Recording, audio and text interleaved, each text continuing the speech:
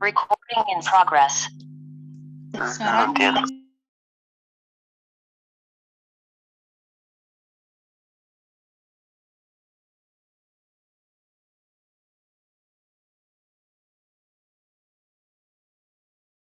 안녕하세요.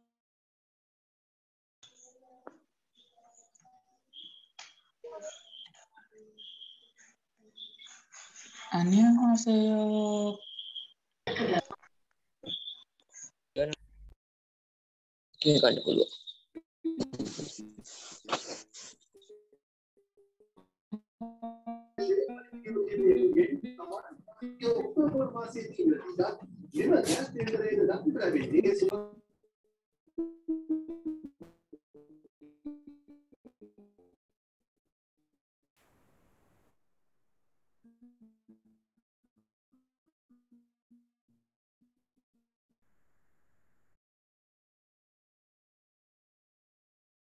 කියන්න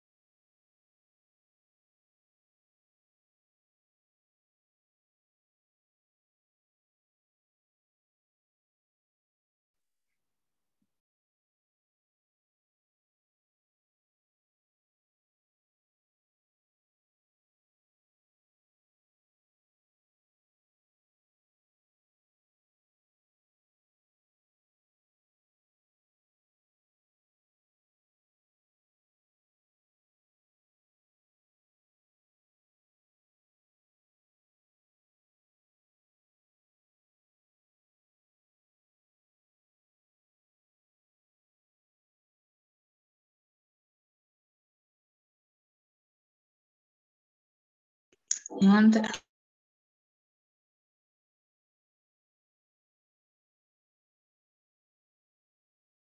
nenhum. Uhum.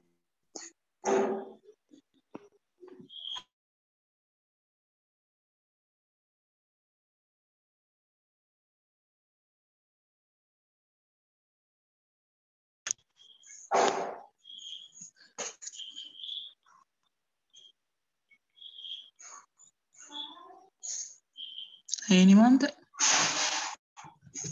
නිවන්ත නිමන්ත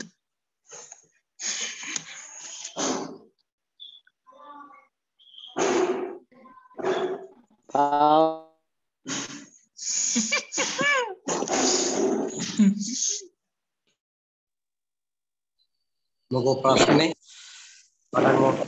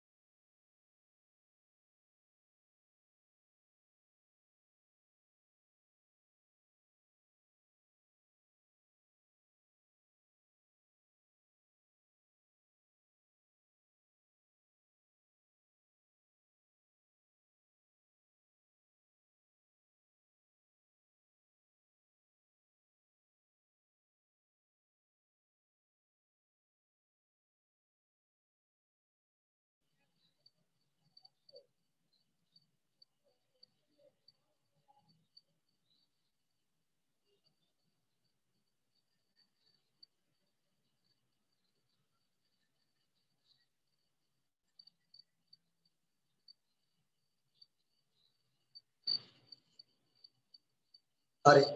අයිබෝන් පුතේ සියලු දෙනාටම සුබ සන්ධ්‍යාවක් වේවා කියලා ප්‍රාර්ථනා කරනවා. මුලින්ම කියන්න ඔයගලන්ට මම කියන දේ ඇහෙනවද සහ මාව පේනවද? මැසේජ් එකක් දාන්න එකට. පේනවා සර් මැසේජ් එකක් දාන්න chat box එකට. හරි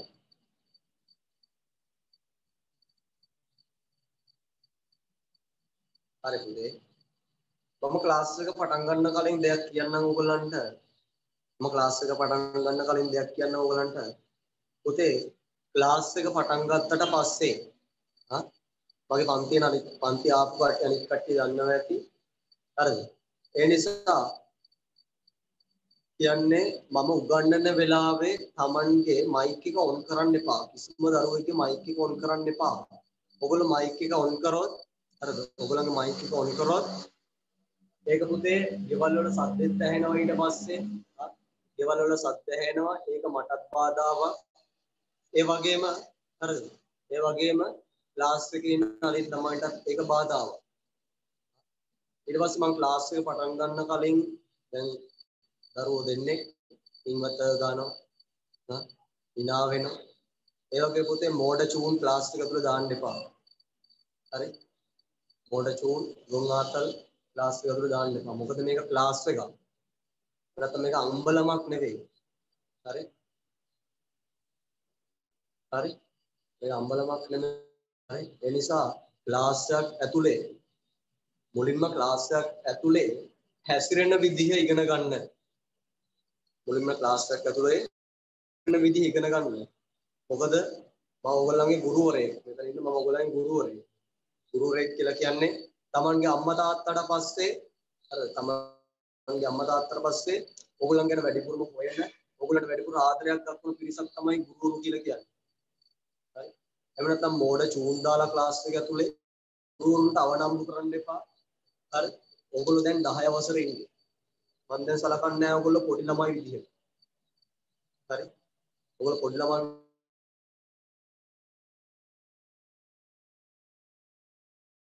සලකන්නේ. ඒ නිසා පුතේ ඒක අපේ ආයතනයේ තියෙන ප්‍රතිපත්තිය. හරි. අපි අපේ විනය තියාගෙන ඉන්නවා. ගුරු විදිහට අපි අපේ විනය තියාගෙන ඉන්නවා. දරුවෝ විදිහට ඔයගොල්ලෝ ක්ලාස් එක ඇතුලේ Tamanගේ විනය තියාගෙන ඉන්න. මුල්ම දවසේ මෙන්න මේ වගේ ටිකක් කියන්න ලැබීම ගැන සෑහෙන කනගාටු වෙනවා මම. හරි. ඒ ටික මුලින්ම කියන්න ලැබීම ගැන කනගාටු වෙනවා ක්ලාස් එක ගැන කතා කරන්න කලින්. මම මුලින්ම ක්ලාස් එක පටන් ගන්න කලින් මේවා ටික කිව්වේ ඔයගොල්ලන්ට ඉදිරියේදී මාත් එක්ක ගනුදෙනු කරන්න ලේසි වෙන්න. මාත් එක්ක ඉන්න විදිහ ලේසි වෙන්න. හරි. ඔයගොල්ලන්ට මම මෙහෙම කිව්වා කියලා ඔයගොල්ලෝ හිතන්නේ අම්බෝ වේස පට්ටවසයි. ආ මාමුතු විදිහට ඉන්න අමුතු විදිහට ඉන්න සර් කෙනෙක්. එහෙම නෑ පුතේ. එහෙම නෑ. මම දරුවොත් එක්ක ඉන්න වෙලාවක දරුවන්ට සෑහෙන ලෙන්ගතුව ඉන්නවා. හැබැයි ගුරුවරුන්ට ගරු කරන්නේ නැතුව ක්ලාස් එකේ ඉන්න විදියක් ගන්න නැතුව ඉන්නාම මේ දරුවෝ ක්ලාස් එකක් ඇතුළේ ඉන්නවට මම කැමති නැහැ. ඒ නිසා ක්ලාස් එකක් ඇතුලේ විනයක් තියාගෙන ඉන්න පුරුදු වෙන්න. මොකද තව දරුවෝ සෑහෙන ප්‍රමාණයක් මෙතන ඉන්නවා. ඒක ඒගොල්ලන්ටත් බාධාව. ඊට පස්සේ කවුරු හරි තව චූන් දෙන්න ලෑස්ති වුණාම අනිත් ඒගොල්ලන්ටත් හිතෙනවා. හා තමන්නේ නෑනේ සර් සර් මුකුත් කියන්නේ නෑනේ අපි පොඩි විසිල් පාරක් ගහනවා මම පොඩි මයික් එක උන් කර පොඩි හුවක් දෙනවා මම පොඩි හුවක් දෙනවා අන්න ඒ වගේ අදහසක් එයි. අනිත් දරුවට අන්න ඒ නිසා මම කියන්න පටන් ගත්තේ. ඒ නිසා උදේ ක්ලාස් එකක් උගන්වන වෙලාව ක්ලාස් එකක් උගන්වන වෙලාවේ කිසිම සද්ද බද්දයක් කරන්නේ නැතුව ක්ලාස් එක කරන වෙලාවේ අහගෙන ඉන්න ඒ වගේම ක්ලාස් එක ක්ලාස් එක මම මොකරි ප්‍රශ්නයක් ඇහුවොත් කිසි ප්‍රශ්නයක් නැහැ. මයික් එක උන් කළා උත්තර දෙන්න.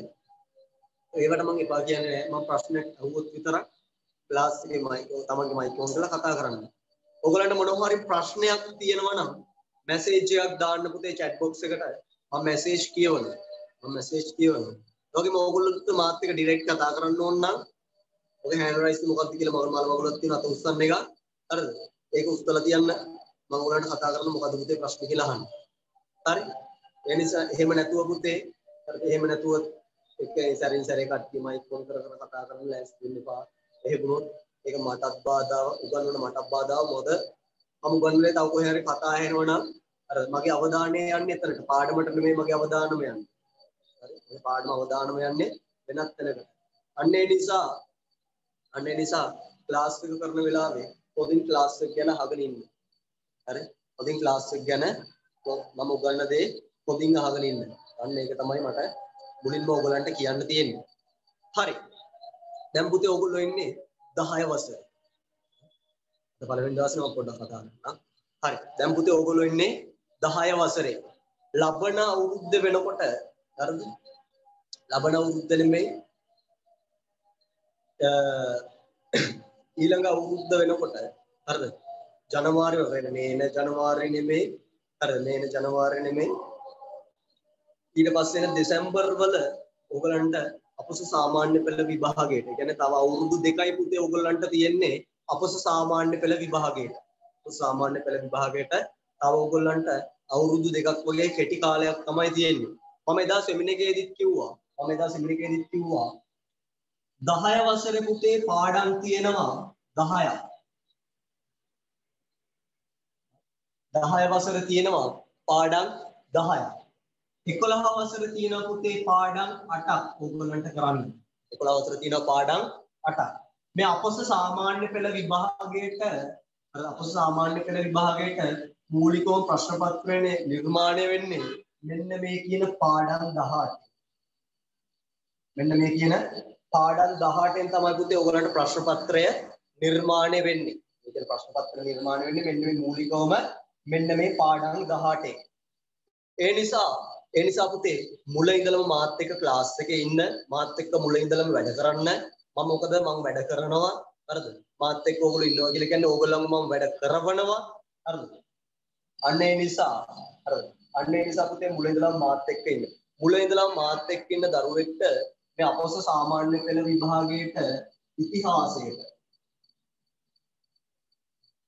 මේ ඉතිහාසය කියන විෂයට ඒකක් ගන්න එකේ වගකීමෙන් 195ක වගකීමක් මම ගන්නවා. මම දැන් සෙමිනාර් එකේදී මම 195ක වගකීමක් ගන්නවා. මම බය නැතුව 195ක් ගන්නවා කියලා කියන්නේ ඕගොල්ලන්ට උදේ මම වැඩ කරන රටාවත් එක්ක. වැඩ කරන රටාවත් එක්ක. ඒ නිසා පුතේ ඔයගලන්ට තියෙන 100ට 5ක් වගේ පොඩි කොටසක් තියෙන්නේ. හරි. මම ක්ලාස් එක ඇතුළේදීම ළමයිව පාඩම් කරවීමේ වැඩසටහනක් කරනවා. ඒ කියන්නේ පාඩම උගන්වන වෙලාවෙම ඔයගලන්ට පාඩම් කරනවා ඒ කොටස පාඩම් කරවනවා. ඒ නිසා දිගටම මගේ පන්තියට සම්බන්ධ වෙන්න, දිගටම මගේ පන්තියට සම්බන්ධ වෙන්න. ඒ වගේම පුතේ මම දෙන පේපර්ස් ටික අනිවාර්යයෙන්ම මම කරන තියෙන වැඩ ටික අනිවාර්යයෙන්ම කරන්න. හරි. එතකොට පුතේ ඔයගොල්ලෝ 11 වසරට ගියාට පස්සේ ආද පළවෙනි දවසේ මම ලර්නින් ප්ලෑන් එක කියන්නේ. ඔයගොල්ලෝ 11 වසරට ගියාට පස්සේ හරි ඔයගොල්ලෝ 11 වසරට ගියාට පස්සේ මම පුතේ නැවතත් 10 වසර ඕගොල්ලන්ට උගන්වනවා. නැවතත් 10 වසර උගන්වනවා. ඒ ඒතකොට හිතන්න එපා. එහෙනම් 11 වසර දාවල නැතිනේ කියලා. නෑ පුතේ මම 11 වසර දාවට ප්‍රශ්න කරනවා. ඕගොල්ලන්ට 11 වසරදී ආවට පස්සේ අර 11 වසර ආවට පස්සේ මේ 10 වසරේ පාඩම් 10ටම අදාළ ප්‍රශ්න පත්‍ර දෙනවා. 10 වසර පාඩම් පාඩම් 10ටම අදාළ ප්‍රශ්න පත්‍ර දෙනවා.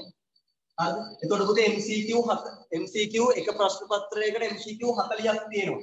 ඒකත් එතකොට 10 වැඩි කිරීම 40 ප්‍රශ්න 400ක් හරිද? MCQ ප්‍රශ්න 400ක් 10 වසරෙන් විතරක් ඕගොල්ලෝ සාකච්ඡා කරනවා මාත් එක්ක. ඊට පස්සේ 11 වසරේ 11 වසරේ කීයක් තියෙනවද? 11 වසර තියෙනවා පුතේ පාඩම් 8ක්. 11 වසරේ පාඩම් 8ක් තියෙනවා. මේ පාඩම් 8ටම අදාළ MCQ දෙනවා. කියන්නේ එක ප්‍රශ්න පත්‍රයකට කියන්නේ එක පාඩමකට එක පාඩමකට ප්‍රශ්න 40 ගානේ එක පාඩමකට ප්‍රශ්න 40 ගානේ මම ඔයගලන්ට ප්‍රශ්න පත්‍ර ලබා දෙනවා. ප්‍රශ්න පත්‍ර ලබා දෙනවා. එතකොට මේ 11 වසරේ පාඩම් වලින් ඕගොල්ලෝ 320ක් MCQ ප්‍රශ්න කරනවා 320ක්. MCQ ප්‍රශ්න 320ක් කරනවා. එතකොට 10 සහ 11 වසර වලට පාඩම් අර පාඩම් වලට අදාළ MCQ ප්‍රශ්න අර MCQ ප්‍රශ්න 720ක් ඕගොල්ලෝ මාත් එක්ක සාකච්ඡා කරනවා. 720ක් ඕගොල්ලෝ මාත් එක්ක සාකච්ඡා කරනවා. මීට අමතරව පුතේ මම වෙනම ප්‍රශ්න පත්‍ර ටිකක් දෙනවා. වෙනම ප්‍රශ්න පත්‍ර දෙනවා. ඒක වෙනම MCQ ප්‍රශ්න 1000ක් ඇතුළත් වෙනවා. ඒක වෙනම MCQ ප්‍රශ්න 1000ක් ඇතුළත් වෙනවා. එතකොට ඕගොල්ලෝ A level sorry ඕගොල්ලෝ O level exam එකට අපි මාත් එක්ක MCQ ප්‍රශ්න MCQ ප්‍රශ්න කියලා කියන්නේ පුතේ ඉරිගහන ප්‍රශ්න. ඉරිගහන ප්‍රශ්න 1720ක් මාත් එක්ක ලියලා යන්නේ. 1720ක් මාත් එක්ක ලියලා යන්නේ. එතකොට පුතේ මේ 1720 ඇතුලේ අනිවාර්යෙන්ම අනිවාර්යෙන්ම ඕගලන්ට අපොස සාමාන්‍ය පෙළ විභාගයේ ප්‍රශ්න 40 අනිවාර්යෙන්ම තියෙනවා. ඒ ප්‍රශ්න 40 මං කරන ප්‍රශ්නවල අනිවාර්යෙන්ම තියෙනවා. එහෙම තිබුණේ නැත්තම් එහෙම තිබුණේ නැත්තම් මං ක්ලාස් කරන එක නතර කරනවා. හරි? එහෙම තිබුණේ නැත්නම් ඒ ප්‍රශ්න 1720 ඇතුලේ මම ඕලර් ප්‍රශ්න පත්‍රයේ තිබුණේ නැත්තම් මම ක්ලාස් කරන එක නතර කරනවා. මම ඔයාලට පොරොන්දු වෙනවා මේක. හරි? ඒ නිසා පුතේ දිගටම මාත් එක්ක ඉන්න ක්ලාස් එකට සම්බන්ධ වෙන්න අර දිගටම මාත් එක්ක පන්තියට සම්බන්ධ වෙන්න මෙතන ගොඩක් කට්ටිය සාමාන්‍යයෙන් සැලකිය යුතු පිරිසක් මාත් එක්ක 9 වසරේ ටික දවසක් ඉඳියා මාස 3ක් විතර කාලයක් මාත් එක්ක රැඳිලා ඉඳියා හරි එතකොට හරි. සර් පේපර් මාර්කින් යනවා නේද? මම බොරු කියන්න ඕනේ නැහැ පුතේ. මම කරන්නේ ටියුෂන් විතරයි. හරි. මම කරන්නේ ටියුෂන් විතරයි පුතේ. හරි. මම ඉස්කෝලේ ගුරුවරයෙක් නෙමෙයි. මම කරන්නේ ටියුෂන් විතරයි. මම ටියුෂන් ශාස්ත්‍රයේ ගුරුවරයෙක්. තාම මම ඉස්කෝලේ ශාස්ත්‍රයට මේ ගියේ නැහැ. ඒකට හේතුව තමයි මම කැම්පස් අවුට් උනේ දැනට හරිද?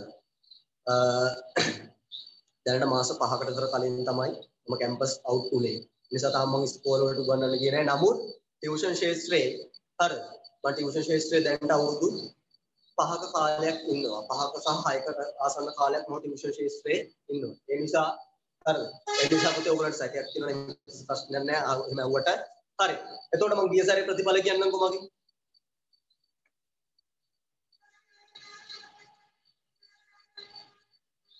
පුතේ ගියවර සාමාන්‍ය පෙළ ප්‍රතිඵල හරි. ගියවර සාමාන්‍ය පෙළ විභාගයේදී මගේ පන්ති වලට සම්බන්ධ වෙලා හරිද? මගේ පන්ති වලට සම්බන්ධ වුණු ළමයිගෙන් ඒ ගත්ත ප්‍රමාණය පුතේ 185. 185ක ප්‍රමාණයක් තමයි මගේ පන්තියේ ඒ ගත්තේ. මගේ පන්තියට සම්බන්ධ වුණ අයගෙන් 185කට ඒ තිබුණේ. හරි? මම ඒක ගණනය කරලා තියෙන්නේ හරිද? ඒක ගණනය කරලා ළමයි මට රිසල්ට් කියනවා. හරිද? මම ක්ලාස් එකේ මුකට්ටිගේ නම් ලියලා තිබ්බේ. ඒගොල්ලන්ගේ රිසල්ට් ඔක්කොම බලලා මම මේ ලේඛනේ හදලා තියෙන්නේ 185ක් ඒ තිබුණා. හරි. පුතේ එස්සාමාර්ථ තිබුණේ හතර දෙනාටයි. මගේ මුල් පන්ති වල සම්බන්ධ කට්ටියගේ එස්සාමාර්ථ තිබුණේ ළමයි හතර දෙනෙක්ට විතරයි. කිසිම දරුවෙක් W ගත්තේ නැහැ. කිසිම දරුවෙක් W ගත්තේ නැහැ. මේ අනෙක් සීලුම් දෙනා ගත්තේ B සහ C. B සහ C තමයි ගත්තේ 185 185 ඒ තිබුණේ. හරි. ඔයගොල්ලෝ රත්නපුර දිස්ත්‍රික්කයේ ඉන්නවනම් රත්නපුර දිස්ත්‍රික්ක ආසන්නයේ ඉන්නවනම් හරිද? ඔව්. පන්තිවල හරියට සම්බන්ධුනේ නැහැ. හරියට කියන දේවල් අහගෙන ඉඳියෙත් නැහැ. හරිද? නැත්තම් පුතේ වැඩ බැරි ළමයි කියලා කවුරුත් නැහැ. තේරුම් ගන්නේ නැහැ වැඩ බෑ කියලා දරුවෙක් කිසිම දරුවෙක් නැහැ. හරිද? කිසිම දරුවෙක් නැහැ. පුතේ අපිට විභාගයක් ගොඩ ගන්න අවශ්‍ය වෙන්නේ උවමනාව සහ උවමනාව සහ කැපවීම. මේ උවමනාව සහ කැපවීම තියෙනවා නම් අපිට කරන්න බැරි දෙයක් නෑ පුතේ. අපිට කරන්න බැරි දෙයක් නෑ උවමනාව කැපකිරීම තියෙනවා. උවමනාව සහ කැපවීම තියෙනවා නම් අපිට කරන්න බැරි දෙයක් නැහැ. ඒ නිසා පුතේ ඕගොල්ලන්ට දැන් තියෙන ප්‍රධාන උවමනාව තමයි හරිද? ඕගොල්ලන්ට දැන් තියෙන ප්‍රධානතම උවමනාව තමයි අපස සාමාන්‍ය පෙළ විභාගය ඉහළින්ම සමත් වීම. අප සාමාන්‍ය පෙළ විභාගය ඉහළින්ම සමත් වීම තමයි ඕගොල්ලන්ට තියෙන උවමනාව. ඒ සඳහා ඕගොල්ලෝ කැප වෙන්න ඕනේ. ඒ සඳහා ඕගොල්ලෝ කැප වෙන්න ඕනේ. කැප වෙන්නේ නැතුව කිසිම දෙයක් හරිද? උවමනාවක් සහ කැපවීමක් නැතුව කිසිම දෙයක් අපිට ළඟා කරගන්න බැහැ. කිසිම දෙයක් අපිට ළඟා කරගන්න ඔයගොල්ලන්ගේ උවමනාව සහ කැපවීම ඇති කරගන්න. හැම දෙයකටම උවමනාව සහ කැපවීම ඇති කරගන්න. හරි. ඒක මගේ විෂය විතරක් නෙවෙයි. හරි. ඒක මගේ විෂය විතරක් නෙමෙයි. අනිකුත් සියලුම විෂයන්ට අදාළයි. මගේ විෂය විතරක් නෙමෙයි. අනිකුත් සියලුම විෂයන්ට අදාළයි. හරි. අපි පාඩමට යමු. excuse me sir ඔව් පුතේ. පොත් මොනවාද සර් ඕන වෙන්නේ පොත්. පොත් පුතේ. මම ඔයගලන්ට ටියුට් එකක් දාලා තියෙනව නේද? ගෲප් එකට දැම්ම නේද? print out කරගත්තද? නෑ සර් වෙලාම දුන්නා ඒකනේ. ඉතින් මම දැන් දවස් දෙකකට උඩ දිනේ පුතේ නෑ ඊයේ දිනේදී තමයි මම ඒක ටියුට් එක ඔයගලන්ට දැම්මේ. හරි? ටියුට් එක මම ඊයේ දිනේදී තමයි ළමන් ටියුට් එක print හරි. එතකොට පුතේ මම ක්ලාස් එක කරන විදිය කියන්නම්. හරි. එතකොට එතකොට පුතේ මම හැම පාඩමක්ම ඔයගලන්ට කරන්නේ. ආ, මම හැම පාඩමක්ම ඔයගලන්ට කරන්නේ පුතේ නිබන්ධන වලින් ටියුට් දීලා තමයි. අර ටියුට් හරහා තමයි මම ඕගොල්ලන්ට අර ටියුට් හරහා තමයි හැම දෙයක්ම මම ඕගොල්ලන්ට කරන්නේ. ටියුට් එක ආවේ නෑනේ සර් පුතා ගෲප් එකේ ඉන්නවද? ඒ ටියුට් එක ආව නෑ. මට එකේ ආවේ නෑ.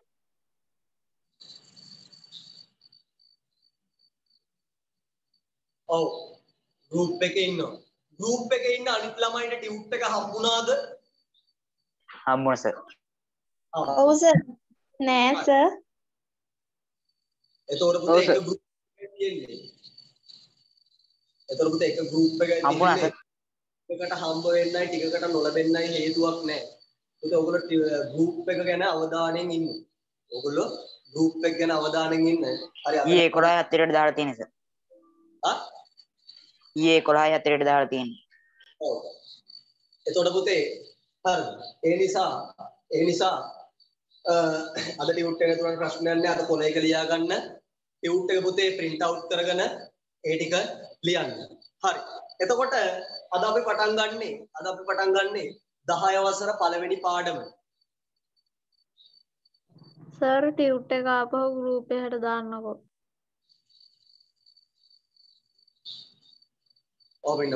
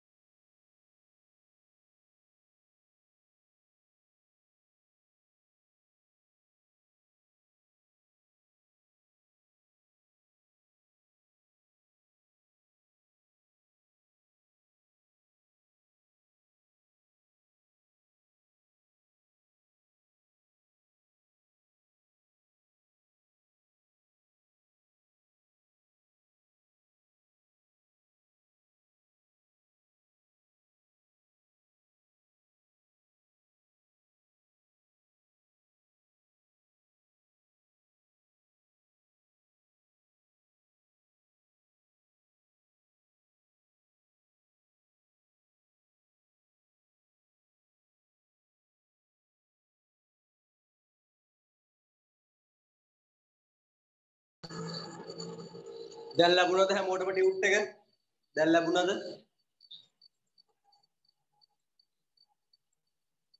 ඔව් සර් thank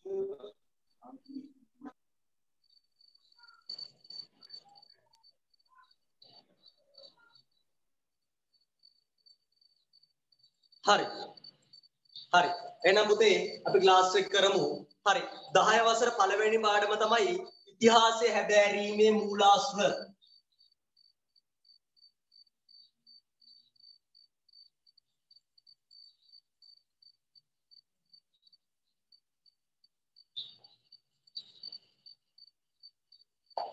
ඉතිහාසය හැදෑරීමේ මූලාශ්‍ර ඉතිහාසය හැදෑරීමේ මූලාශ්‍ර කියන පාඩම තමයි අද අපිට සාකච්ඡා කරන්න තියෙන්නේ. හරි.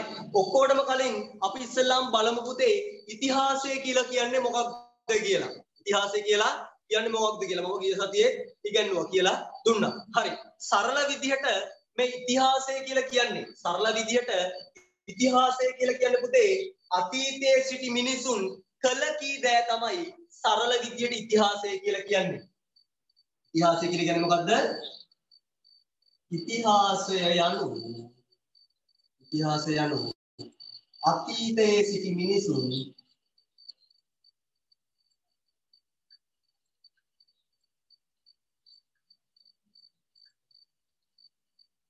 කළ කී දෑ හරිද මේ ඉතිහාසය කියලා සරල විදිහට කියලා කියන්නේ. ආ ඉතිහාසය කියලා සරල විදිහට කියන්නේ පුතේ අතීතයේ සිටි මිනිසුන් කළ කී දෑ තමයි ඉතිහාසය කියලා කියන්නේ. ඉතිහාසය කියලා කියන්නේ මොකද්ද සරල විදිහට අතීතයේ සිටි මිනිසුන් කළ කී දෑ තමයි ඉතිහාසය කියලා කියන්නේ. ඒ වගේම කියලා කියනවා. හරිද? මේ ඉතිහාසයට පුතේ මේ මේන් මතු මේන් ගෙවන හැම තත්පරයක්ම අයිති වෙන්නේ ඉතිහාසයට. මේ මේන් ගෙවන හැම තත්පරයක්ම අයිති වෙන්නේ ඉතිහාසයට. අද ඕගොල්ලෝ උදේ අවදි වුණේ එක අයිති වෙන්නේ ඉතිහාසයට. ඕගොල්ලෝ ගිය සති ඉස්කෝලේ ගියපු එක අයිති වෙන්නේ ඉතිහාසයට. ඕගොල්ලෝ ඉපදුනේ එක අයිති වෙන්නේ ඉතිහාසයට. ඕගොල්ලෝ පුතේ මූලික අධ්‍යාපනය සඳහා මොන්ටිසෝරි ගියා කියලා කියන්නේ ඒකත් අයිති ඉතිහාසයට. ඒකත් අයිති ඉතිහාසයට. එතකොට සරල විදිහට ඉතිහාසය කියලා කියන්නේ අතීතයේ සිටි මිනිසුන් කළ කී දෑ තමයි ඉතිහාසයට අයත් වෙන්නේ. මොකද ඉතිහාසයට අයත් වෙන්නේ අතීතයේ සිටි මිනිසුන් කළ කී දෑ තමයි පුතේ ඉතිහාසය කියලා කියන්නේ. මොකක්ද? සරල විදිහට මම ආපහු කියනවා. සරල විදිහට ඉතිහාසය කියලා කියන්නේ අතීතයේ සිටි මිනිසුන් කළ කී දෑ තමයි පුතේ ඉතිහාසය කියලා කියන්නේ. එතකොට පුතේ මේ ඉතිහාස කරුණු ඉගෙන ගන්න තියෙන දේවල් මේ ඉතිහාසය ගැන තොරතුරු එකතු කරගන්න පුළුවන් දේවල් තමයි මූලාශ්‍ර කියලා කියන්නේ. මේ ඉතිහාස තොරතුරු පිළිබඳව අධ්‍යයනය කරන්න පුළුවන් දේවල් තමයි මූලාශ්‍ර කියලා කියන්නේ. ඉතිහා මුලින්ම බලමු ඉතිහාසය කියලා කියන්නේ මොකක්ද කියලා. මේ සරල විදියට ඉතිහාසය කියලා කියන්නේ අතීතයේ සිටි මිනිසුන් කළ කී දෑ තමයි පුතේ ඉතිහාසය කියලා කියන්නේ. එතකොට මූලාශ්‍ර කියලා කියන්නේ මේ ඉතිහාස තොරතුරු පිළිබඳව ඉතිහාස තොරතුරු පිළිබඳව දැනගන්න පුළුවන් දේවල් තමයි මූලාශ්‍ර කියලා කියන්නේ. මූලාශ්‍ර කියලා කියන්නේ. හරි. එතකොට අපි ඉස්සෙල්ලම් බලමු මේ ඉතිහාසය හැදෑරීමේ මූලාශ්‍ර මොනවද කියලා. අපි ඉස්සෙල්ලම් බලමු ඉතිහාසය හැදෑරීමේ මූලාශ්‍ර මොනවද කියලා. පුතේ මේ ඉතිහාසය හැදෑරීමේ මූලාශ්‍ර ගත්තට පස්සේ ඉතිහාසය හැදෑරීමේ මූලාශ්‍ර ගත්තට පස්සේ මේ මූලාශ්‍ර ප්‍රධාන වශයෙන් කොටස් දෙකයි. ඉතිහාසය හැදෑරීමේ මූලාශ්‍ර ප්‍රධාන වශයෙන් කොටස් දෙකයි. එකක් තමයි පුතේ සාහිත්‍ය මූලාශ්‍ර කියලා කියන්නේ.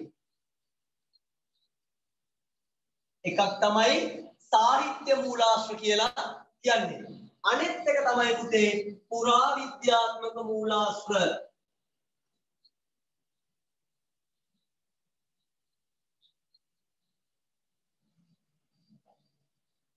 හරි. ඉතිහාසය හැදෑරීමේ මූලාශ්‍ර ගත්තට පස්සේ ඉතිහාසය හැදෑරීමේ මූලාශ්‍ර ප්‍රධාන වශයෙන් කොටස් දෙකයි. එකක් සාහිත්‍ය මූලාශ්‍ර අනික පුරාවිද්‍යාත්මක මූලාශ්‍ර. හරි. මේ සාහිත්‍ය මූලාශ්‍ර පුතේ නැවතත් ප්‍රධාන වශයෙන් කොටස් දෙකයි. සාහිත්‍ය මූලාශ්‍ර නැවතත් ප්‍රධාන වශයෙන් කොටස් දෙකයි. ඒ කොටස් දෙක තමයි පුතේ දේශීය සාහිත්‍ය මූලාශ්‍ර සහ දේශීය සාහිත්‍ය මූලාශ්‍ර සහ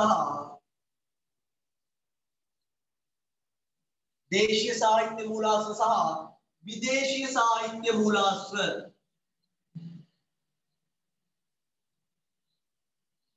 දේශීය සාහිත්‍ය මූලාශ්‍ර සහ විදේශීය සාහිත්‍ය මූලාශ්‍ර.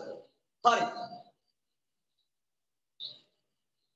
අහගෙන ඉන්න මේ දේශීය සාහිත්‍ය මූල මම නැවතත් පුතේ පැහැදිලි කරනවා ඔයගලන්ට තේරුම් නැතුණා වැඩි ගණන් ගන්න එපා මම ආපහු කියලා දෙනවා ඈ. හරි.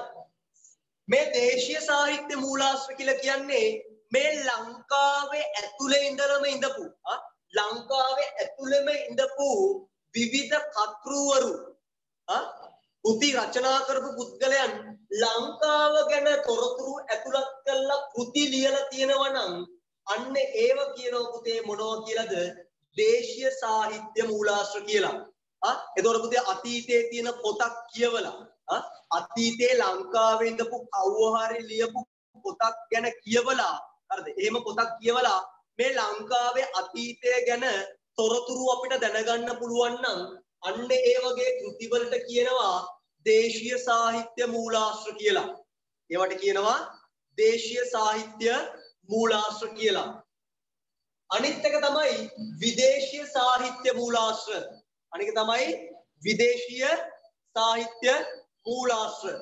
මේ විදේශීය සාහිත්‍ය මූලාශ්‍ර කියලා කියන්නේ ලංකාව ගැන ඇල්මක් එහෙම නැත්නම් ලංකාව ගැන කැමැත්තක් දක්වපු විදේශිකයන් විසින් ලංකාව පිළිබඳ තොරතුරු ඇතුළත් කරලා යම් කිසි කෘතියක් ලියලා තියෙනවා නම් අන්න ඒ වගේවට කියනවා මොකක්ද පුතේ විදේශීය සාහිත්‍ය මූලාශ්‍ර කියලා. ඒ කියන්නේ මේ විදේශ රටක ඉන්න කවුරු හරි කෘති ලියන රචකයෙක් ලංකාව ගැන තොරතුරු සඳහන් කරලා මොනවා හරි කෘතියක් ලියලා තියෙනවා නම් අන්න ඒවට කියනවා විදේශීය සාහිත්‍ය මූලාශ්‍ර කියලා. හරි. දැන් දේශීය සාහිත්‍ය මූලාශ්‍ර කියන්නේ සහ විදේශීය සාහිත්‍ය මූලාශ්‍ර කියන දෙකේ තොරතුරු පැහැදිලිද පුතේ? මේ දෙක පැහැදිලිද? ඔව් සර් තේරුම් කියන්න පුතේ. කියනවා. ඔව් සර් පැහැදිලි සර් ආ පුතේ? පැහැදිලි සර් තේරුණා තේරුණා. කවුරු හරි තේරුම් නැති කෙනෙක් ඉන්නව නම් කියන්නේ එක්කෙනෙක් හරි ඉන්නව නම් කියන්නේ. තේරුනේ නැති එක දරුවෙක් හරි ඉන්නවනම්. හරි. අහපව් තේ. හරි. හොඳට අහගෙන ඉන්න පුතේ ඈ. ඔන්න ආපහු වතාවක් මම කියලා දෙනවා. ඒ නිසා හොඳට අහගෙන ඉන්න. හරි. අද පාඩම තමයි ඉතිහාසය හැදෑරීමේ මූලාශ්‍ර. ඉතිහාසය හැදෑරීමේ මූලාශ්‍ර. අපි පුතේ ඉතිහාසය හැදෑරීමේ මූලාශ්‍ර ගැන කතා කරන්න කලින් අපි ඉස්සල්ලාම බලමු ඉතිහාසය කියලා කියන්නේ මොකක්ද කියලා. හරි. කාටද පුළුවන් කියන්නේ ඉතිහාසය කියන්නේ මොකක්ද කියලා කියන්න කාටද පුළුවන් පුතේ? අත උස් සර් පුළුවන්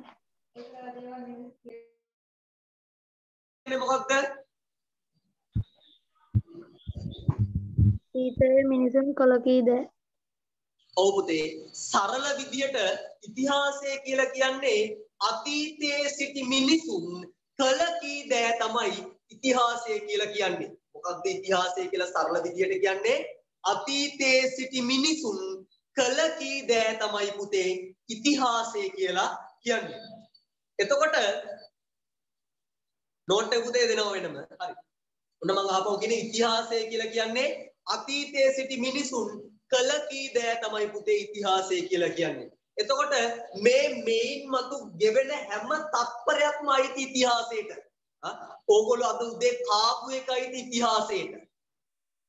හරිද? ඒ වගේම ඕගොල්ලෝ පුතේ හරි ඕගොල්ලෝ මොන්ඩිසෝරි ගියපු එක ඕගොල්ලෝ ඉස්කෝලේ ගියපු එක එක වසරේදී දෙක වසරේදී මේ හැම ක්‍රියාවක්මයි ඉතිහාසයට.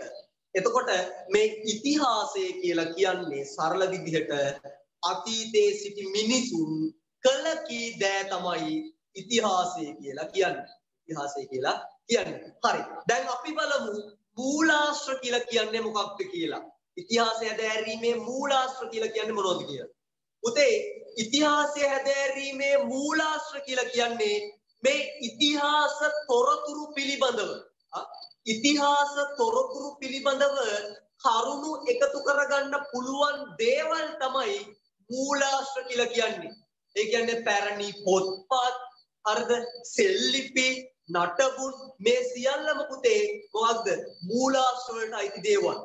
එතකොට මේ ඉතිහාසය හැදෑරීමේ මූලාශ්‍ර ගත්තට පස්සේ ඉතිහාසය හැදෑරීමේ මූලාශ්‍ර ප්‍රධාන වශයෙන් කොටස් දෙකයි. ඉතිහාසය හැදෑරීමේ මූලාශ්‍ර ප්‍රධාන වශයෙන් කොටස් කීයද? ඉතිහාසය හැදෑරීමේ මූලාශ්‍ර ප්‍රධාන වශයෙන් කොටස් දෙකයි. ඉතිහාසය හැදෑරීමේ මූලාශ්‍ර ප්‍රධාන වශයෙන් කොටස් දෙක තමයි එකක් පුතේ සාහිත්‍ය මූලාශ්‍ර ආ? එකක් සාහිත්‍ය මූලාශ්‍ර අනික පුරාවිද්‍යාත්මක මූලාශ්‍ර මොකක්ද එකක් සාහිත්‍ය මූලාශ්‍ර අනික පුරාවිද්‍යාත්මක මූලාශ්‍ර සාහිත්‍ය මූලාශ්‍ර සහ පුරාවිද්‍යාත්මක මූලාශ්‍ර. අපි මෙව එකින් එක පැහැදිලි කරගෙන යමු පස්සේ ඈ. හරි. එතකොට මේ සාහිත්‍ය මූලාශ්‍ර ගත්තට පස්සේ මෙන්න මේ කියන සාහිත්‍ය මූලාශ්‍රත් ප්‍රධාන වශයෙන් කොටස් දෙකයි. ආ? සාහිත්‍ය මූලාශ්‍ර ගත්තට පස්සේ සාහිත්‍ය මූලාශ්‍ර ප්‍රධාන වශයෙන් කොටස් දෙකයි. එතකොට පුතේ මේ සාහිත්‍ය මූලාශ්‍ර කියලා කියන්නේ මේ අදින් වසර 2000කට වසර පෙර ඊයේදී ඉඳපු විවිධ කර්තෘවරු ලියපු ගද්‍ය සහ පද්‍ය ගද්‍ය සහ පද්‍ය තමයි මේ සාහිත්‍ය මූලාශ්‍ර කියලා කියන්නේ. ඒ කියන්නේ ලියපු පොත්පත්. අතීතයේ ඉඳපු මිනිස්සු ලියපු පොත්පත් තමයි සාහිත්‍ය මූලාශ්‍ර කියලා කියන්නේ. එතකොට පුතේ අතීතයේ තිබ්බ පොත්පත් වලින් අපිට ඒ කාලවකවානුවේ තොරතුරු එකතු කරගන්න බැයිද? තොරතුරු ගැන අවබෝධයක් ගන්න බැරිද? පුළුවන්ද බැරිද? පුළුවන්. පුළුවන්. හරි. එතකොට මේ සාහිත්‍ය මූලාශ්‍රත් මේ සාහිත්‍ය මූලාශ්‍රත් ප්‍රධාන වශයෙන් කොටස් දෙකයි. සාහිත්‍ය මූලාශ්‍ර ගත්තට පස්සේ මේ සාහිත්‍ය මූලාශ්‍ර ප්‍රධාන වශයෙන් කොටස් දෙකයි.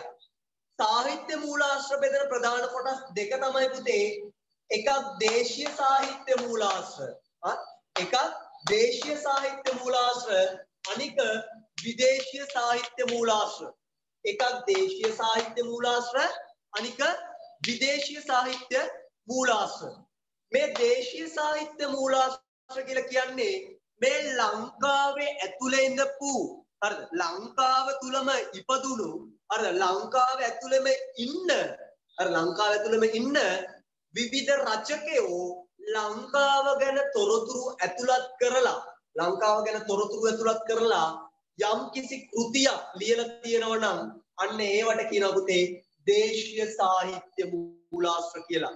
අන්න ඒවට කියන මොකක් කියලාද? දේශීය සාහිත්‍ය මූලාශ්‍ර කියලා.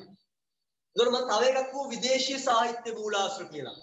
මේ විදේශීය සාහිත්‍ය මූලාශ්‍ර කියලා කියන්නේ මෙහෙම විදේශීය සාහිත්‍ය මූලාශ්‍ර කියලා කියන්නේ මේ ලංකාව ගැන ඇල්මක් ඒ වගේම ලංකාව ගැන කැමැත්තක් දක්වපු මේ විදේශීය විදේශීය කෘති ලියපු රචකයෝ විසින් ලංකාව ගැන තොරතුරු සඳහන් කරලා යම් කිසි කෘතියක් ලියලා තියෙනවා නම් අන්න ඒවට කියනවා විදේශීය සාහිත්‍ය මූලාශ්‍ර කියලා. දැන් ඔයාලා සරල විදිහට හිතන්නකෝ. දැන් ඔයාලා සරල විදිහට හිතන්න මම පුතේ ප්‍රංශ ජාතිකේ. දැන් ඔයගොල්ලෝ ඉස්සර උගන්වන මේ සමිත ගුණරත්න කියලා කියන්නේ ප්‍රංශ ජාතිකෙක් කියලා හිතන්නකෝ. ප්‍රංශ ජාතිකේ. මේ ප්‍රංශ ජාතිකෙක් වෙච්ච මම ලංකාව ගැන තොරතුරු සඳහන් කරලා කෘතියක් ලියනවා. එතකොට මම විදේශිකයෙක්. එතකොට මම විදේශිකයෙක්. එතකොට මම ලියපු කෘතිය පුතේ විදේශීය සාහිත්‍ය මූලාශ්‍රය. එතකොට මම ලියපු කෘතිය විදේශීය සාහිත්‍ය මූලාශ්‍රය. හරි. දැන් තේරුණාද පුතේ දේශීය සාහිත්‍ය මූලාශ්‍ර සහ විදේශීය සාහිත්‍ය මූලාශ්‍ර කියන්නේ මොකක්ද කියලා? අර තේරුන්නේ නැහැ කියපු ආපහු පැහැදිලි කරන්න කියපු පුතාට තේරුණාද? කවුද මට ආපහු පැහැදිලි කරන්න කියලා කිව්වේ? තරුෂ පුතා තේරුණාද පැහැදිලිද? පැහැදිලිද පුතේ?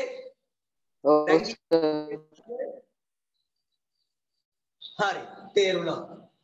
හරි මං අහපව් කියනවා මේ ඉතිහාසය හැදෑරීමේ මූලාශ්‍ර ගත්තට පස්සේ මේ ඉතිහාසය හැදෑරීමේ මූලාශ්‍ර ප්‍රධාන වශයෙන් කොටස් දෙකයි. එකක් සාහිත්‍ය මූලාශ්‍ර අනික මොකක්ද? පුරාවිද්‍යාත්මක මූලාශ්‍ර අනික පුරාවිද්‍යාත්මක මූලාශ්‍ර.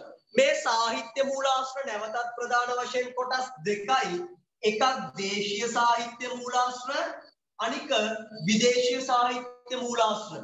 මේ දේශීය සාහිත්‍ය මූලාශ්‍ර කියලා කියන්නේ.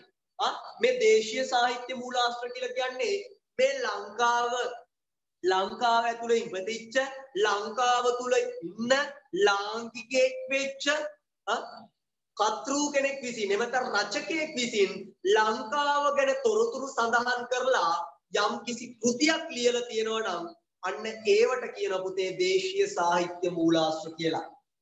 ඊට පස්සේ විදේශීය සාහිත්‍ය මූලාශ්‍ර.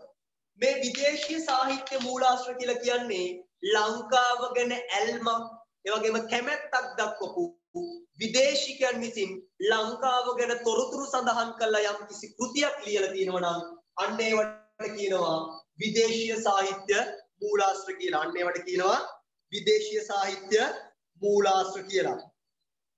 හරි. එතකොට පුතේ මේ පුරාවිද්‍යාත්මක මූලාශ්‍ර මේ පුරාවිද්‍යාත්මක මූලාශ්‍ර කියලා කියන්නේ පුතේ අභිලේඛන වලට ඒ වගේම සෙල්ලිපි වලට ඒ වගේම කාස් පැරණි කාසි වලට ඒ වගේම පැරණි නටබුන් වලට ඒ වගේම චිත්‍ර හා මූර්ති වලට අන්න ඒවට තමයි පුතේ පුරාවිද්‍යාත්මක මූලාශ්‍ර කියලා කියන්නේ. අර පුරාවිද්‍යාඥයෝ විසින්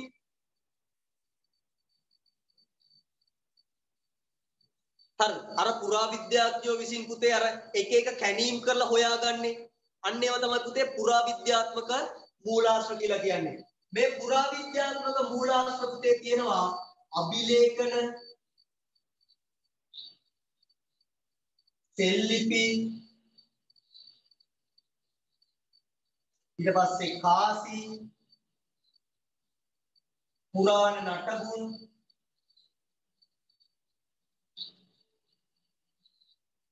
චිත්‍ර හා මූර්ති චිත්‍ර හා මූර්ති හරි අවර් දග්වික් මෙසේජ් එකක් දැම්මා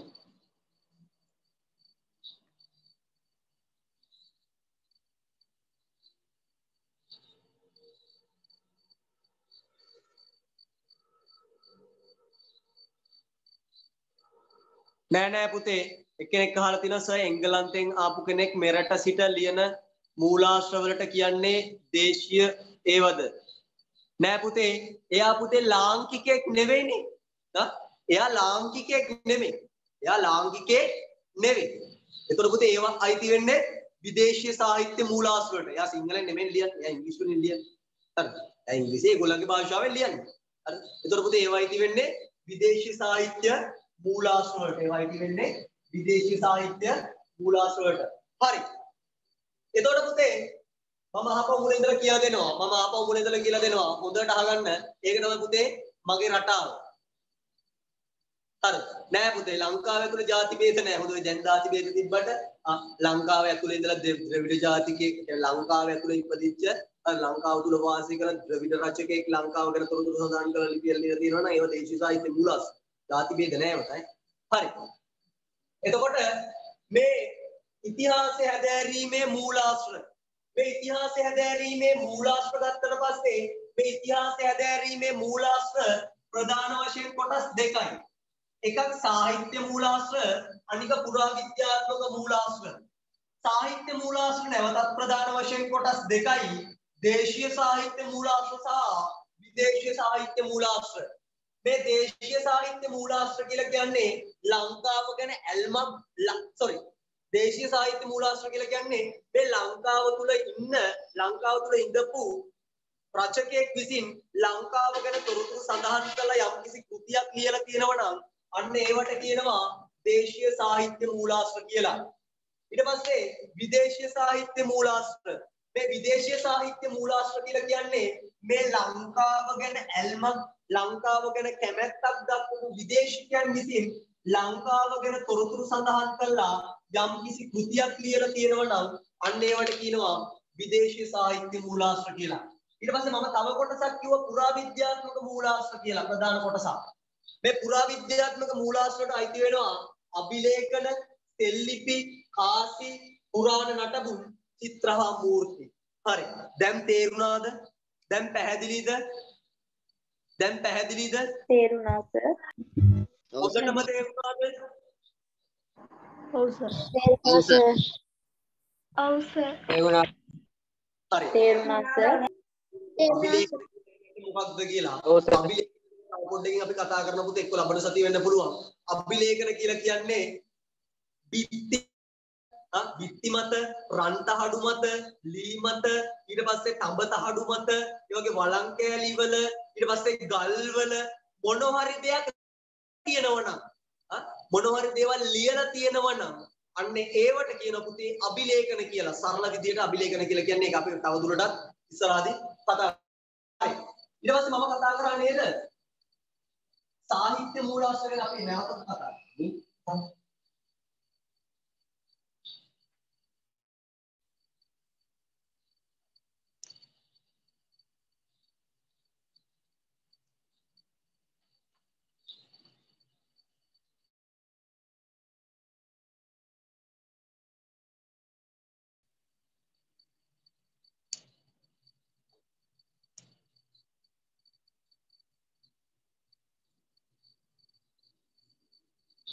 මේ සාහිත්‍ය මූලාශ්‍ර පුතේ ප්‍රධාන වශයෙන් කොටස් කීයක් කිව්වද?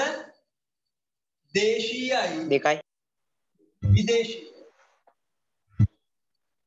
දේශීය සහ විදේශීය කියලා කොටස් දෙකකට බෙදලා කිව්වා. හරි. දැන් අපි කතා කරමු පුතේ මේ දේශීය සාහිත්‍ය වලට උදාහරණ දේශීය සාහිත්‍ය මූලාශ්‍ර වලට උදාහරණ. මේ දේශීය සාහිත්‍ය මූලාශ්‍ර වලට උදාහරණ තමයි පුතේ දේශීය සාහිත්‍ය මූලාශ්‍ර වලට උදාහරණ තමයි දීපවංශය දීපවංශය මහාවංශය වංශය ධාතු වංශය රත්නාවලිය බෝධි වංශය සද්ධර්ම ලංකාරය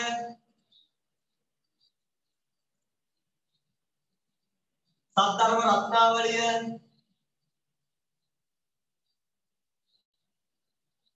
සද්ධර්ම රත්නාවලිය ඊට පස්සේ පූජාවලිය ඊට පස්සේ සංදේශ කාව්‍යයක් ඇතුළත් වෙනවා. මයුර සංදේශය තිසර සංදේශය සැලලිහිණි සංදේශය මෙන්න මේ වගේ දේවලුත් ඒකට අයිති වෙනවා. ඊට පස්සේ ප්‍රශස්ති කාව්‍යයක් අයිති වෙනවා. පැරකුම්බා සිරිත ඒ වගේම හටන් කාව්‍ය අයිති වෙනවා. සීතාව කටන ප්‍රොසෙස්ටන්ටාටන ඉංග්‍රීසි යටන ඔන්න වගේ දේවල් තමයි පුතේ දේශීය සාහිත්‍ය මූලාශ්‍ර කියලා කියන්නේ. හරි. ඊට පස්සේ විදේශීය සාහිත්‍ය මූලාශ්‍ර. මේ විදේශීය සාහිත්‍ය මූලාශ්‍ර කියලා කියන්නේ මේ ලංකාව ගැන ඇල්මක් ඒ වගේම ලංකාව ගැන කැමැත්තක් දක්වපු විදේශිකයන් විසින් ලංකාව ගැන තොරතුරු සඳහන් කරලා යම්කිසි කෘතියක් කියලා තියෙනවා නම් අන්න ඒවට කියනවා විදේශීය සාහිත්‍ය මූලාශ්‍ර කියලා. එතකොට මේ චීන මූලාශ්‍ර තියෙන පුතේ.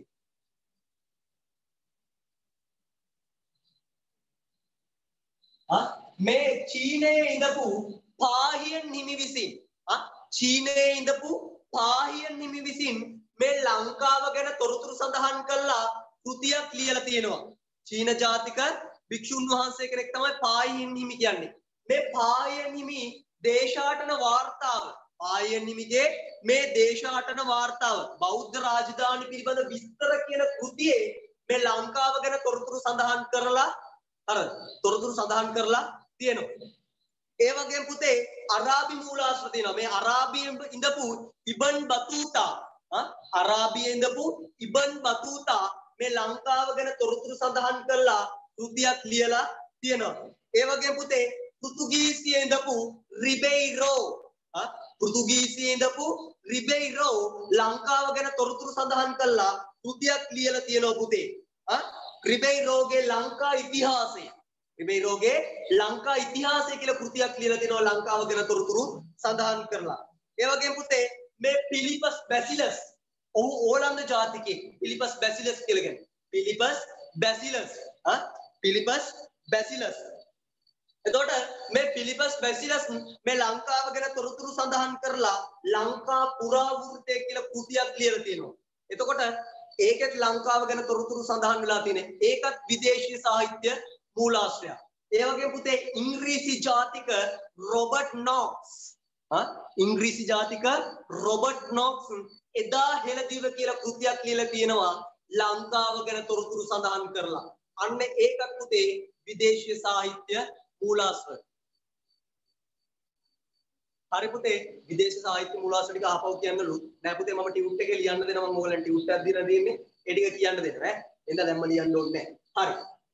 සාහිත්‍ය මූලාශ්‍ර අර මූලාශ්‍ර ගත්තට සම්පූර්ණ මූලාශ්‍ර ගත්තට පස්සේ මූලාශ්‍ර ප්‍රධාන වශයෙන් කොටස් දෙකයි සාහිත්‍ය මූලාශ්‍ර සහ පුරාවිද්‍යාත්මක මූලාශ්‍ර. මේ සාහිත්‍ය මූලාශ්‍ර නැවතත් ප්‍රධාන වශයෙන් කොටස් දෙකකට බෙදෙනවා.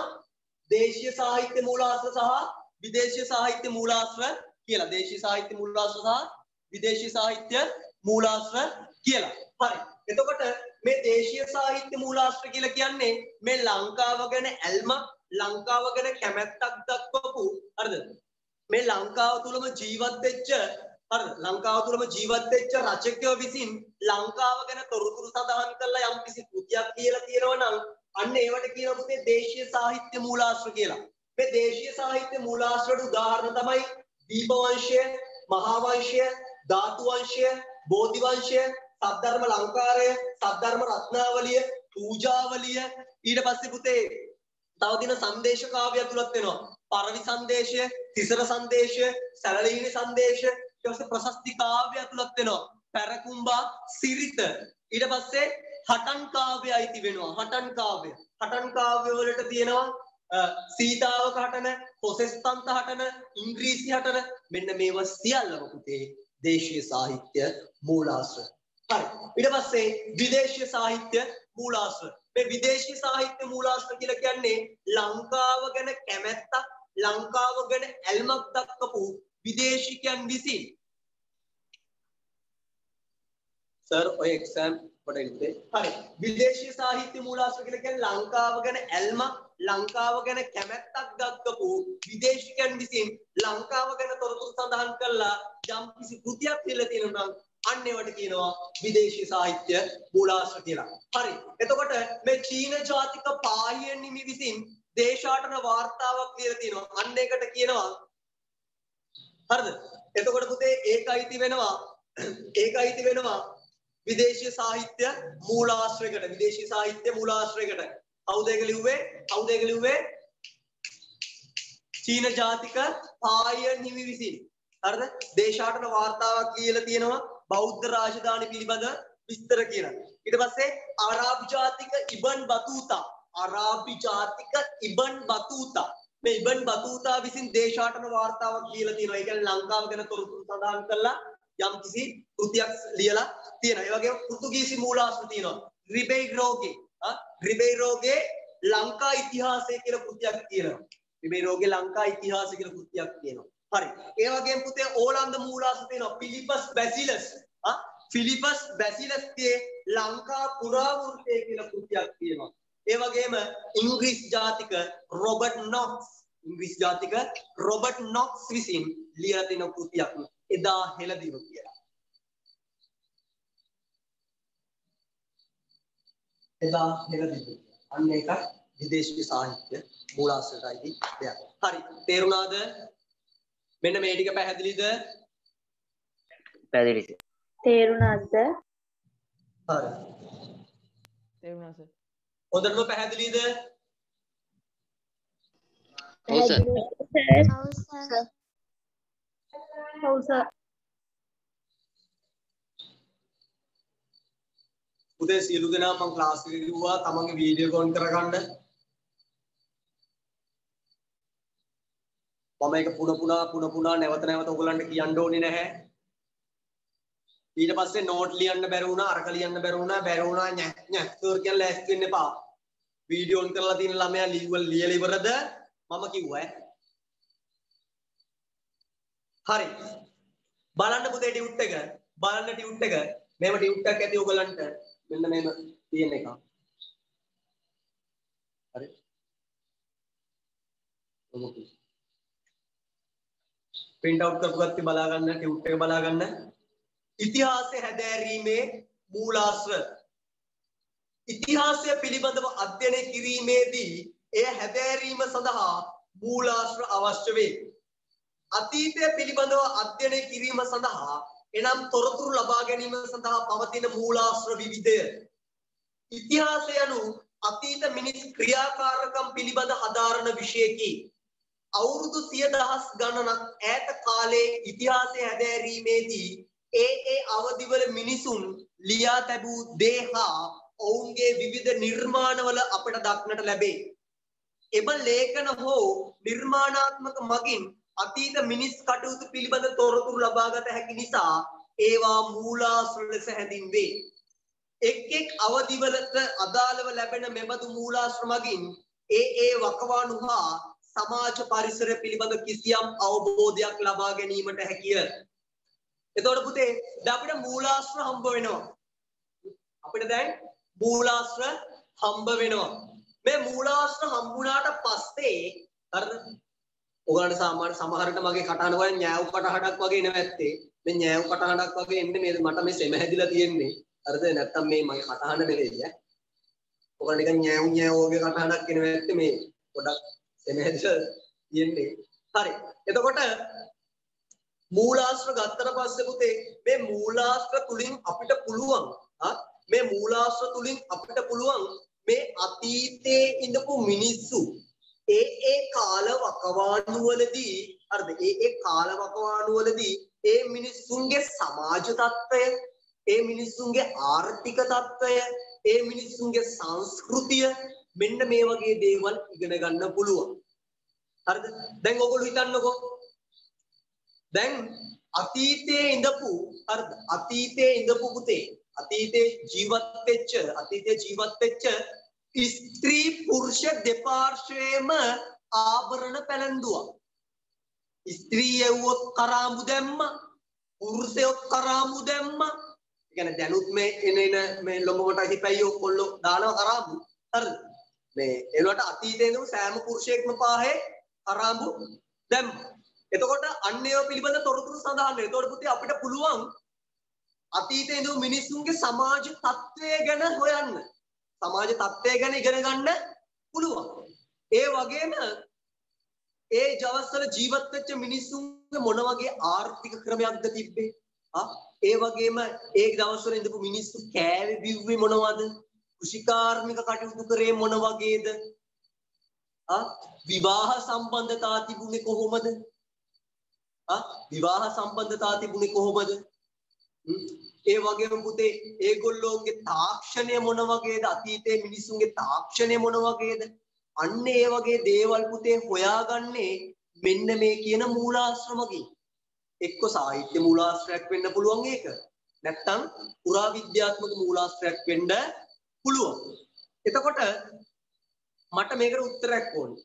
වඩා පැරණි ගොඩාරිය පරණ සාහිත්‍ය මූලාශ්‍රද පුරාවිද්‍යාත්මක මූලාශ්‍රද? පුරාවිද්‍යාත්මක විද්‍යාත්මක මූලාශ්‍රය. ඔව්. පුරා විද්‍යාත්මක මූලාශ්‍රය? මූලාශ්‍ර තමයි පැරණි. ඒතකොට පුතේ ආ දැන් පුතේ මේ ලිඛිත ඉතිහාසයක් පටන් ගන්න එක කියන්නේ සාහිත්‍ය මූලාශ්‍ර පටන් ගන්නේ ලිඛිත ඉතිහාසයෙන් පස්සේ. මූලාශ්‍ර පටන් ගන්න ලිඛිත ඉතිහාසයෙන් පස්සේ. නමුත් පුරාවිද්‍යාත්මක මූලාශ්‍ර ඊට කලින් ඉඳලා තියෙන්න පුළුවන්. ඔය සෙල්ලිපි වගේ දේවල් ඊට පස්සේ පුතේ ඔය ආභරණ වගේ දේවල් ආ ඔය නටබුන් ඒ කියන්නේ ගොඩනැගිලි වල නටබුන් හරිද? ඒවා තමයි වඩාත් පැරණි. ඒකට පුතේ වඩාත් පැරණි වෙන්නේ පුරාවිද්‍යාත්මක මූලාශ්‍ර.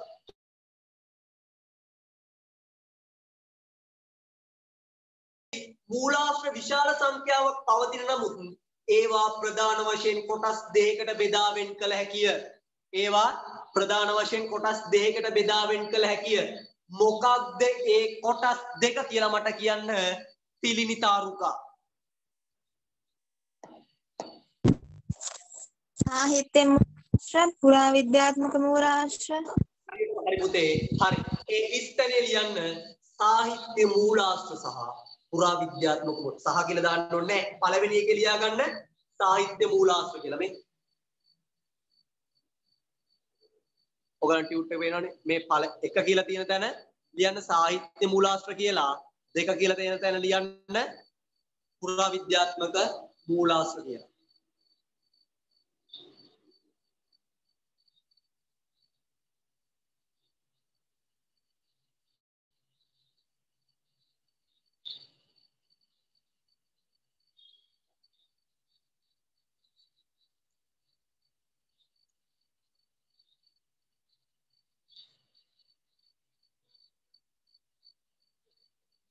හරි. ඊට පස්සේ ඕගොල්ලන්ට තියෙන මෙන්න මේ වගේ chart එකක්. මෙන්න මේ වගේ chart එකක් තියෙනවා. අපි දැන් මේ chart එක පුරවමු ඈ. මෙන්න මේ වගේ chart එකක් තියෙනවා ටියුට් එකේ අපි chart එක පුරවමු.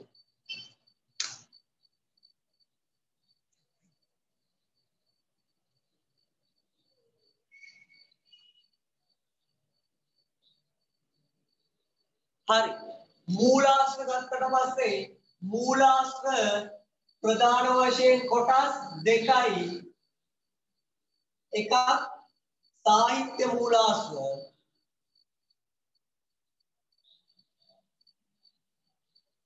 අනික මොකද්ද පුතේ? දිලංග රශ්මිත පුරාවිද්‍යා මූලාශ්‍ර. පුරා විද්‍යා එකක් සාහිත්‍ය මූලාශ්‍ර අනික පුරා විද්‍යාත්මක මූලාශ්‍ර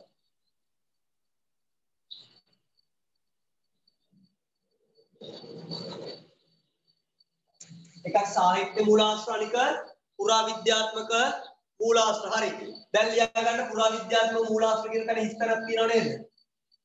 අතන ලියන්න පුරා විද්‍යාත්මක මූලාශ්‍ර කියලා. ඉස්තන ලියන්න පුරා විද්‍යාත්මක මූලාශ්‍ර කියලා. ටියුට් එක print out කරපු නැති කට්ටිය ලියා ගන්න පුතේ සම්පූර්ණයෙන්ම ඊට පස්සේ ටියුට් එක print out කරගෙන ලියා ගන්න හරි. මේ සාහිත්‍ය මූලාශ්‍රත් නැවතත් ප්‍රධාන වශයෙන් කොටස් දෙකයි. මේ සාහිත්‍ය මූලාශ්‍රත් නැවතත් ප්‍රධාන වශයෙන් කොටස් දෙකයි. ගයාන් කියන්න පුතේ බලන්න. ගයාන් කියන්න බලන්න සාහිත්‍ය මූලාශ්‍ර බෙදෙන ප්‍රධාන කොටස් දෙක.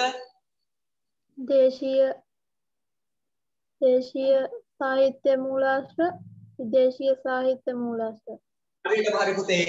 මේ සාහිත්‍ය මූලාශ්‍ර නැවතත් ප්‍රධාන වශයෙන් කොටස් දෙකයි. දේශීය සාහිත්‍ය මූලාශ්‍ර අනික විදේශීය සාහිත්‍ය මූලාශ්‍ර දේශීය සාහිත්‍ය මූලාශ්‍ර හරි. මේ දේශීය සාහිත්‍ය මූලාශ්‍රයට තියෙන පුතේ සංදේශ කාව්‍ය කියලා එකක්. ආ? දේශීය සාහිත්‍ය මූලාශ්‍රයට තියෙන සංදේශ කාව්‍ය කියලා එකක්. අන්න ඒකට ලියන්න පුතේ. අන්න ඒකට ලියන්න තිසර සංදේශය ආ තිසර සංදේශය ලියන්නේ නැද්ද? තිසර සංදේශය සැලලීනි සංදේශය මයුර සංදේශය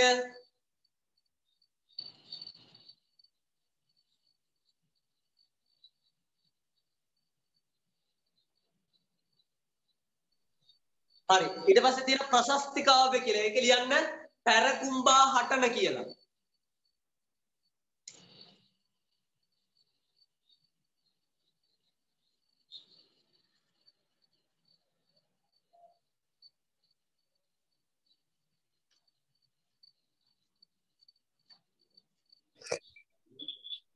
සර් අපව එක් කියන්නකෝ පැරකුම්බා පැරකුම්බා හට මේ මේ සෝරි. ඔව්.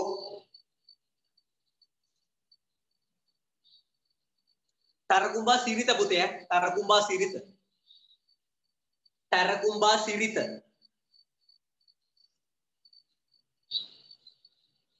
පැරකුම්බා සිරිත.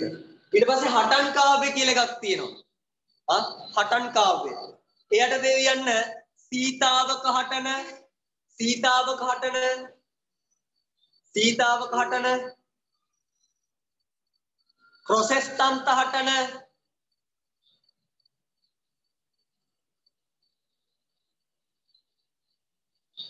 සීතාවක හටන ප්‍රොසෙස්තන්ත හටන ඉංග්‍රීසි හටන. ඉංග්‍රීසි හටන.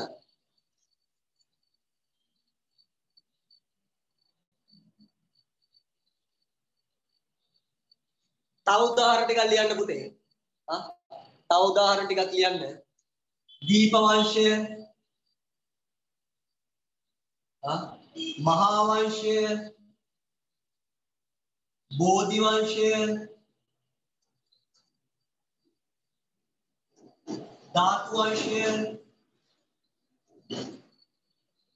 සද්ධර්ම ලංකාරය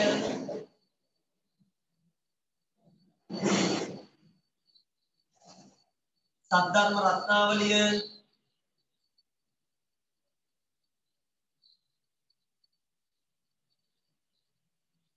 එන්නේ වගේ.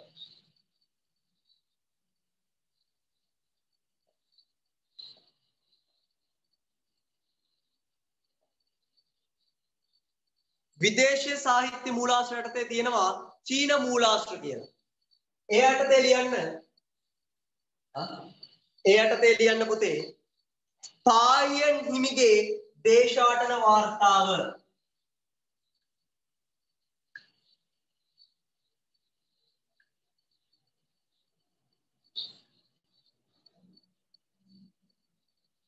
පායන් හිමිගේ දේශාටන වාර්තාව.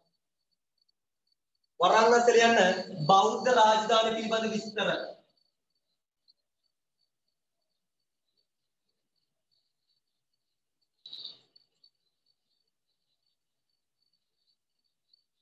ඊට පස්සේ තියෙනවා අරාබි මූලාශ්‍ර කියලා.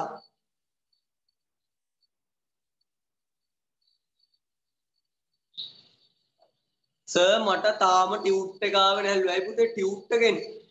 අත්ින් නෑවේ ටියුට් එකෙන් නැති වෙන විදියක් නෑනේ බොල පුතේ.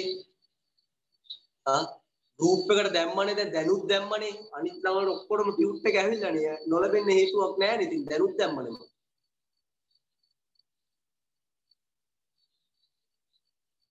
ආපහු බලන්න පුතේ හොඳට ටියුට් එක චෙක් කරලා. හරි. දේශීය සාහිත්‍ය විදේශී සාහිත්‍ය මුලාශ්‍රයටතේ පාය නිමිගේ දේශාටන වාර්තාව. ඊට පස්සේ අරාබි මූලාශ්‍රයටතේ ඉබන් බතූතාගේ දේශාටන වාර්තාව.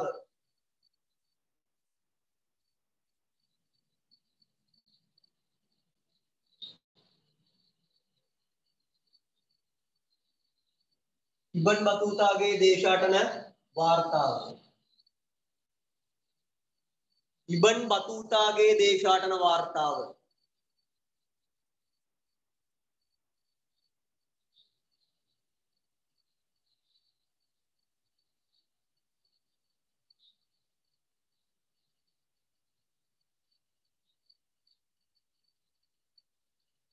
ඊට පස්සේ තව එක තියෙනවා පුතේ පෘතුගීසි මූලාශ්‍ර කියලා එකක්. පෘතුගීසි මූලාශ්‍ර යටතේ ලියන්න රිබෙයිලෝගේ ලංකාව පිළිබඳ ග්‍රන්ථය. රිබෙයි ලෝගේ ලංකාව පිළිබඳ ග්‍රන්ථය. රිබෙයිලෝගේ ලංකාව පිළිබඳ ග්‍රන්ථය. ඊට පස්සේ යටතේ තව එකක් තියෙනවා පුතේ ඕලන්ද මූලාශ්‍ර කියලා. ඕලන්ද මූලාශ්‍ර කියලා. ඕලන්ද මූලාශ්‍ර යටතේ ලියන්න පුතේ පිලිපස් බැසිලස්ගේ කෘතිය.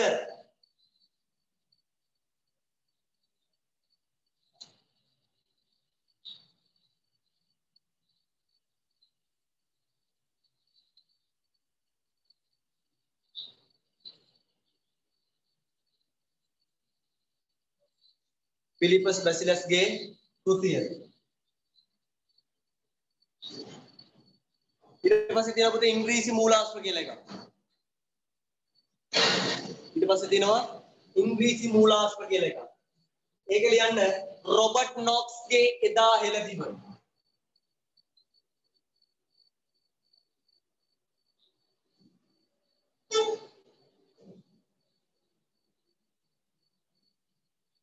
රොබර්ට් නොක්ස්ගේ එදා හෙළදිව.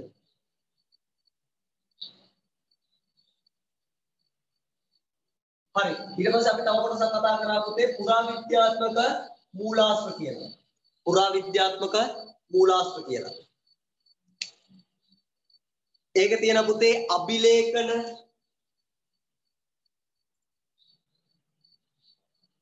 ඒක නම් ටියුට් එකේ තියෙනවා ඈ. සෙල්ලිපි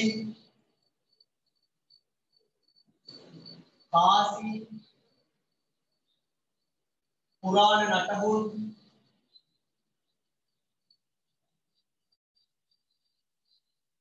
චිත්‍ර හා මූර්ති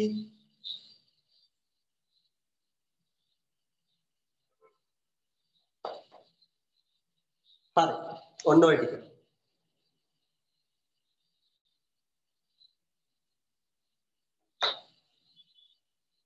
ඔන්න. ඔය ටික.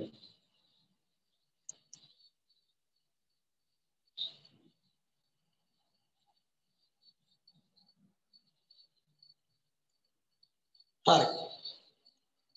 දැන් පැහැදිලිද පුතේ මේ ටික? ආ චිත්‍රා මූර්ති නැලුඩියුට් එක එන එක ලියා ගන්න චිත්‍රා මූර්ති කියලා. හරි. එතකොට ඉතිහාසය හැදෑරීමේ මූලාශ්‍ර ගත්තට පස්සේ හරිද ඉතිහාසය හැදෑරීමේ මූලාශ්‍ර ගත්තට පස්සේ ඉතිහාසය හැදෑරීමේ මූලාශ්‍ර ප්‍රධාන වශයෙන් කොටස් දෙක. එකක් සාහිත්‍ය මූලාශ්‍ර අනික පුරාවිද්‍යාත්මක මූලාශ්‍ර. සාහිත්‍ය මූලාශ්‍ර නැවතත් ප්‍රධාන වශයෙන් කොටස් දෙකයි. සාහිත්‍ය මූලා දේශීය සාහිත්‍ය මූලාශ්‍ර සහ විදේශීය සාහිත්‍ය මූලාශ්‍ර. මේ දේශීය සාහිත්‍ය මූලාශ්‍රට උදාහරණ තමයි මයුර සංදේශය, තිසර සංදේශය, සැලලීනි ඊට පස්සේ ඒකට අති අයිති වෙන ප්‍රශස්ති කාව්‍ය ප්‍රශස්ති කාව්‍ය කියලා කියන්නේ පැරකුම්බා සිරිත අයිති වෙනවා. ඊට පස්සේ හටන් කාව්‍ය අයිති වෙනවා. හටන් කාව්‍යයට තේ තියෙනවා ඉංග්‍රීසි හටන ප්‍රොසෙස්තන්ත හටන අර සීතාව කටන වගේ දේවල්. ඊට අමතරව දීප වංශය මහා වංශය බෝධි වංශය ධාතු වංශය සද්ධර්ම ලංකාරය පස්සේ හත්තාවලිය විදේශී සාහිත්‍ය මූලාශ්‍රයට අයිති වෙනවා. පායන් හිමිගේ දේශාටන වාර්තාව කියන බෞද්ධ රාජධානි පිළිබඳ විස්තර තියෙනවා. ඒකේ ඊට පස්සේ ඉබන් බතුතාගේ දේශාටන වාර්තාව ත්‍රිබේ රෝගේ ලංකාව පිළිබඳ ග්‍රන්ථය පිලිපස් බැසිලස්ගේ කෘතිය ඊට පස්සේ රොබර්ට් නොක්ස්ගේ එදා හෙළදිව රොබර්ට් නොක්ස්ගේ එදා හෙළදිව. ඊට පස්සේ පුරාවිද්‍යාත්මක මූලාශ්‍ර පුරාවිද්‍යාත්මක මූලාශ්‍රයට අයිති අභිලේඛන සෙල්ලිපි කාසි පුරාණ නටබුන් චිත්‍ර හා මූර්ති. තේරුණාද? පැහැදිලිද? පැහැදිලි තේරුණා සර් තේරුණා සර් පැහැදිලි පැහැදිලිද? හරි. අදම පන්තියට ආපු කට්ටිය පොඩ්ඩක් අත උස්සන්න පුතේ මට.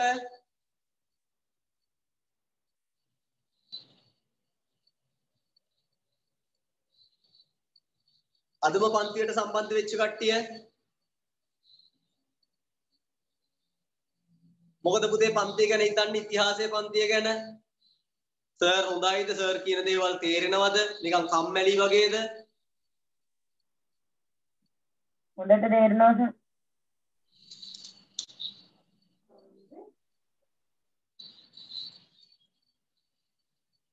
හරි.